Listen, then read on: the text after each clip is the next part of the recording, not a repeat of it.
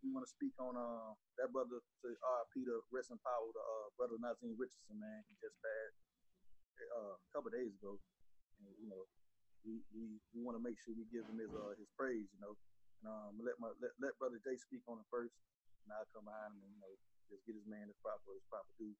He's been a he's been a great great uh a great figure in the sport of boxing, man.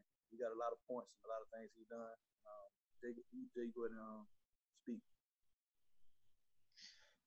Yeah, man. It's it's. I know he had been battling something even back with uh B Hop, and so you forget when you know that, and he may not have been a celebrity to the sense that oh you know he was this national figure, but in the boxing world he was he was a guy that had a resource of knowledge that was uh, looked to for uh, you know opinions and and carried weight and he was a guy mm-hmm. with his relationship with b-hop that really really um, was a major figure in you know the mid 90s and early 2000s uh, training sugar shane mosley um, and even you know it's always strange when you meet these people in real life like i got a chance to meet him back in 2011 um, really good guy. Just took a picture with me. Was really humble, and um, you know, it, it's, it's it sucks when you, you know, you don't know the people, but I, I know JD can speak to this. We've met boxers and you know people, you know, behind the scenes, and you, you know, not everybody would know this. Some people are assholes, and some people are real humble, nice uh, guys, and really and, and, and embrace the fans. And so Naazim Richards was one of those man, and he didn't mind talking boxing. You know, spread, spreading his opinion. He was a fair guy. Uh, when he gave his assessment, he was an honest guy, so he'll truly be missing the sport of boxing. Yeah, man, I, he he definitely truly will be missing. You know what was special about him? You know, a lot of us kind of really saw, you know, him really get a lot of notoriety, as you said with with B Hop.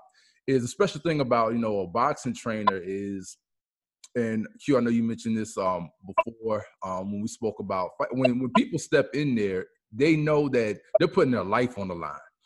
So there's a lot of trust you have to have with someone who is training you to step into a ring knowing that you know at any given moment you could die or you could be severely injured.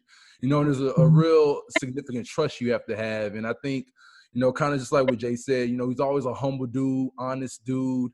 Um, there's something to be said about people who have that heart of giving, and there's a heart of giving that you have to have as a trainer uh, to try to impart knowledge and instill confidence in somebody.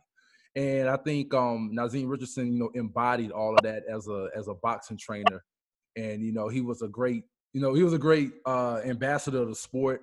Um, you know, on all levels. And again, it's just a reminder too, you know, the you know, you know, pursue your passion, do what you love. Um, you know, he's at the young age of 55, you know, uh, years old.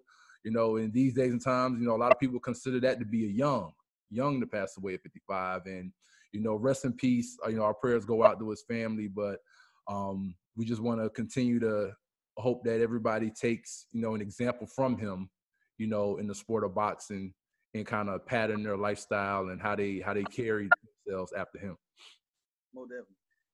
I just want to say real quick because there's a couple of things that that brother Naazim Richardson, man, a couple of a couple of his assessments for fights, and one he, I also want to say he's the one that that that caught Margarito with them fucking gloves. You mm-hmm. understand with the plaster of Paris. Right. He say I thought the motherfucker was gonna go to jail. I ain't think I, I was blown away that mm-hmm. they let him fight. I thought he was gonna lock his ass up. That that was funny and dope. That you know. but anyway, the Pacquiao fight where on Pacquiao fought Shane. Mm-hmm. I don't know if y'all saw, but they had it, it was on Showtime, or whatever, and it wasn't. It was like that. They had the behind the scenes shit, and I don't know if y'all remember, but man, fucking, um, Pac Shane was in the corner. He was he was telling he was telling Naazim to stop the fight. he was like, stop the fight, Naazim."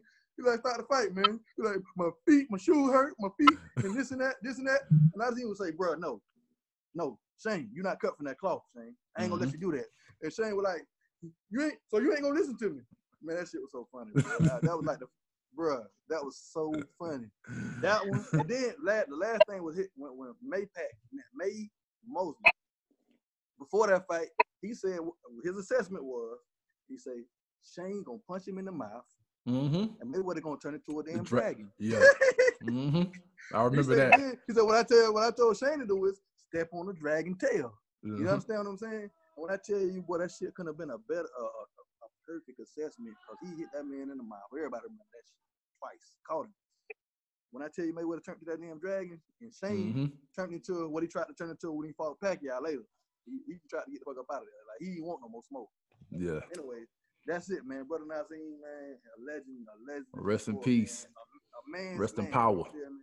Rest in power, man. Mhm. You feel me? You know, you're gonna be up there training the old fighters into the, into their uh Legends League up there, up there. You know what I'm saying? Uh-huh. Up there in heaven, Legend League in heaven, baby. You up there? uh-huh. Anyway, all right. Anyway, that we're gonna wrap it up for that one, man. And you know, peace, peace Naazim and the family and everybody, man. All the boxing fans that were touched by this. Uh, Mhm. once again, select the notification button, subscribe, and like. Hit the like button, smash the like button. My man got my man got insurance policy. He gonna fix your screens if you smack it. Yeah. Screen. My brother just got you. Don't even worry about it. That's what it is. Peace. All right.